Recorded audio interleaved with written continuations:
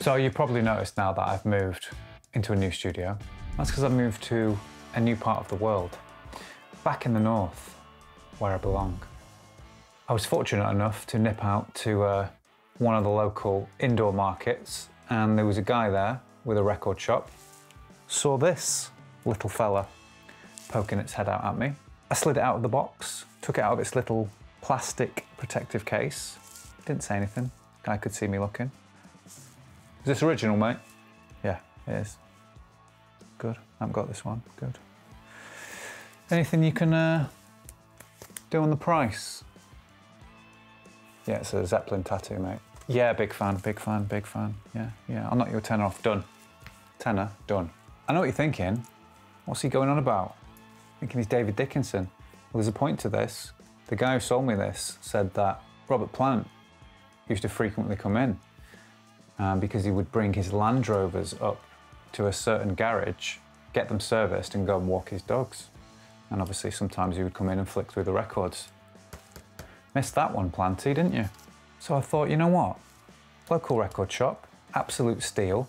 Planty's knocking round in his Land Rovers. Why don't I just teach you the solo from the Rover? So that's what I'm going to do.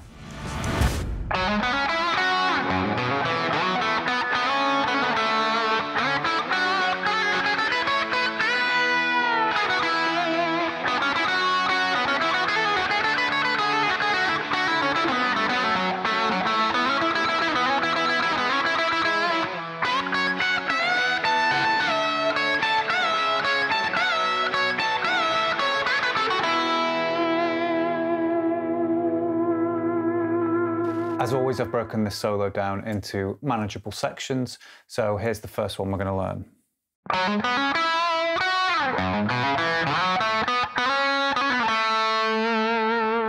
So we start with the ninth fret of the A string, the note F sharp, and we're going to hammer on to the 11th fret. And we're going to do the same thing on the D string as well, same frets. Kind of a paranoid Black Sabbath vibe going on here. Uh, but then we make our way up to the ninth fret of the G and we hit that note. And we sustain that for a second before hitting the 11 on the G, and that's the octave of the F sharp. I kind of slide out there because we're going to make our way down to the lower F sharp, so that's the second fret of the low E string. And then we hammer that note onto the fourth fret of the E, the note G sharp. And then this is exactly the same as what we've just done, but it's the octave below. So we hit the B, second fret of the A, hammer on, and then we hit the E on the second fret of the D.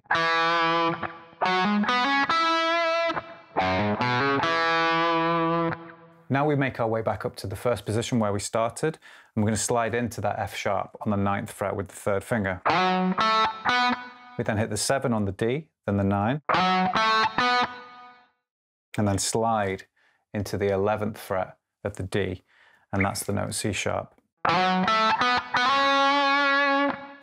Now we have a quick hammer on pull off and a picked note. You can do a hammer on pull off and slide back, but I like to hammer on from the 9 to the 11, pull off, and then come back and pick the 7 on the D. But you can get the same effect from doing the hammer on, pull off on the slide. I just think that picked note gives it a little bit more definition. Altogether, that opening phrase goes like this.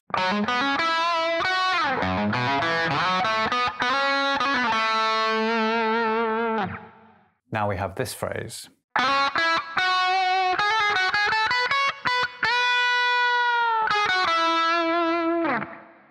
So we're going to slide into the 11th fret of the D with the third finger. Walking up again, 9, 11 on the G. Now we've got the really cool little hammer on pull off lick, which goes from the 9th fret of the B to the 10, and that's index and second finger. It's a quick hammer on pull off. Bring that back down to the 11 on the G, and then go back to the 9. Again, that's one of those um, techniques. If you've not done it before, you can kind of um, lift that out, extract it, practice it by itself. And then you can practice it just over and over again and annoy everybody. Um, and then maybe you could try adding in um, a different finger. You know, you can kind of try and practice building your own licks out of Jimmy's. So after that nine, we then just walk up the scale. So we go nine, 10, 12, 9, and then 12 on the B again. And you can follow me or the song for the rhythm. After that 12th fret of the B, we have a whole tone bend now, and it's coming from the 10th fret of the B. And it's quite difficult this because you'd probably be expected to use your second finger. And it's not a finger that we always bend with, but it's good practice um, strength building because sometimes we need to bend with just the index finger or in this case the second finger. So make sure you put in the time practicing bending with different fingers. So that's going to bend straight up from the 10th fret, from the note A to the 12th fret, the note B, and then it's going to slowly um, fall back down to pitch. Remember, if you're unsure of what that's supposed to sound like, pitch the bend at the 12th fret and then match to that note and let it back down. After that, we're going to hit the ninth fret of the B by itself, 11th fret of the G, 9th fret of the G. Descending, three notes, and it's got a snappy little rhythm. Stick a little bit of vibrato on the end. So together, that sounds like this.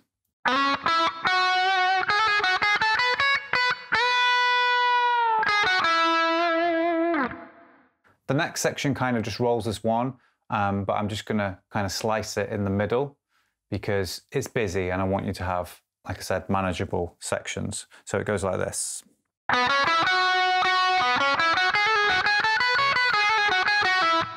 So now we combine a little bit of what we've just learned, that walking up, and a little bit of the sort of hammer on pull off stuff that we did in the previous lick. So 9, 11 on the D and G again. Then we do that 9, 10 hammer on pull off, hit the 11 on the G, and then we walk up the 9, 10, 12 on the B, hit the 9 on the E, back to the 12 on the B.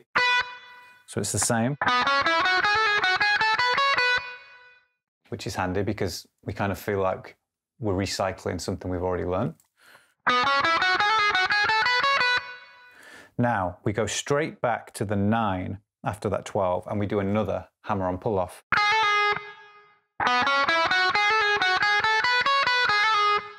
After the 9, 10 hammer on pull off, we hit the 11 on the G again. This time we make our way back to the 9 on the B quickly, and then we hit the 11 on the G again and pull that off to the 9. And this time that 11, 9 at the end is a pull off rather than picked. So that phrase goes like this.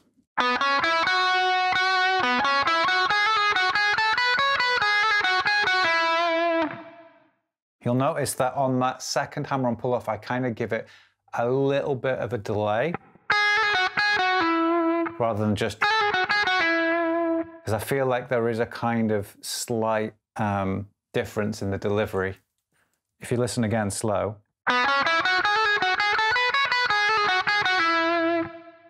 Next part of the solo.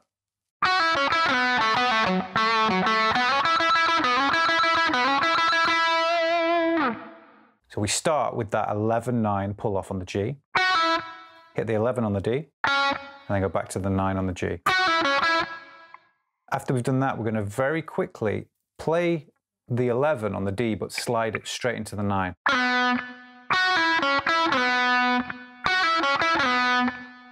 Then after that, we're going to pick the seven with the index finger. And it kind of sustains for a second on that ninth fret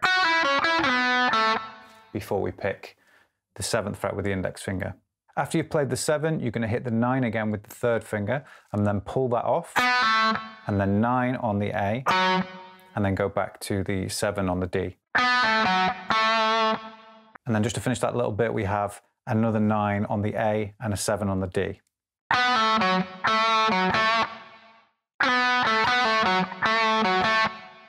Now we have a really cool little sliding phrase that goes like this. So you're going to slide from the ninth fret of the D to the 11 with the third finger. And then we're going to hit the ninth fret of the G with the index finger four times. I like to go down, up, down, up, down. So. So those two previous phrases back to back a little bit slower. So you can see um, that little pause in the middle that I was talking about.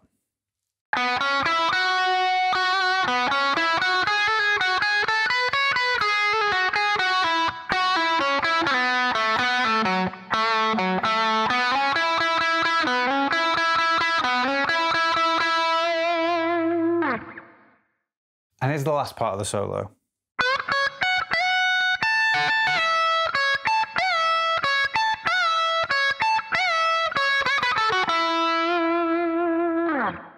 These first three notes are going to be staccato, so they're going to be very choppy. So you don't want them ringing out like that. We want them like this. You can do it a couple of different ways. You can release the finger pressure after you've played a note. Uh, and you can also combine that with a little bit of kind of like dampening of the right hand here. Like that. Um, you can also bring the pick back into the string.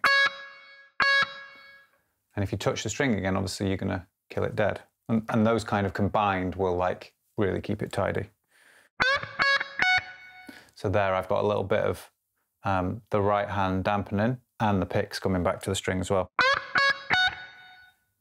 And you can hear the difference between and that, okay? So that's how that happens. That's how it works. So after that 16th fret bend, we then hit the 14 on the B and then the 14 on the E. If you played a lot of solos, you've probably played that lick a lot of times. Then we hit the 17th fret of the B and we're going to do a whole step bend up, third finger. Now, it's important to use the third finger here or the second finger because what you have to do is catch the 17th fret on the high E whilst that's bent up. You're going to hit that pre-bent note and then let it down.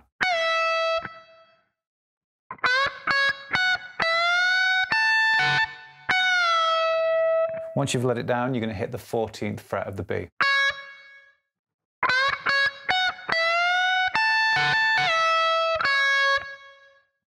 Then you kind of just repeat those three notes again. 17 on the high E, but this time I kind of hear a, a bend up and a down rather than just a pre-bend, which makes it a bit easier. And then you hit the 14th fret of the B again with the index finger.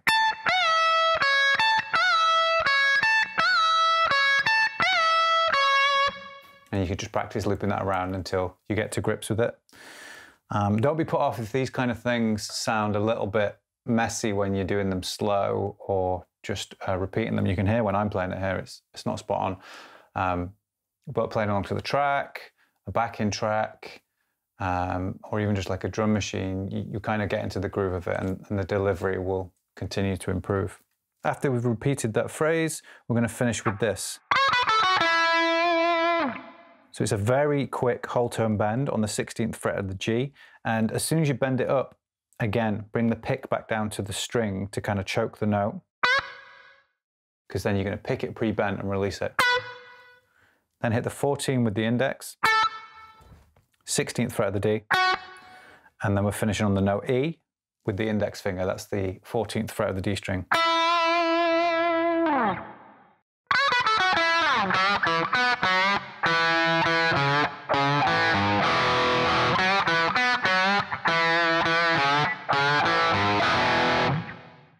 I'll just play through the whole thing slow now.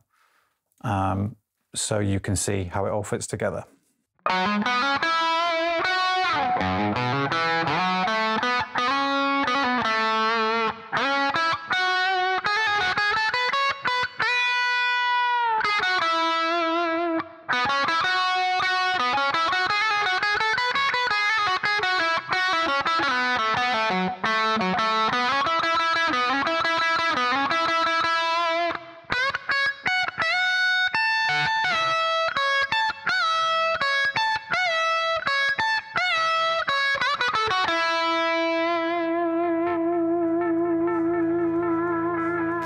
Thanks for choosing to learn this particular solo with me today. If you enjoyed the video, consider dropping a like on it, hit subscribe, whack the little bell next to it. Like I said, a little love does go a long way. And as always, if you want the tabs for any of my lessons, consider checking out my Patreon. Take care of yourselves, and I will see you in the next video.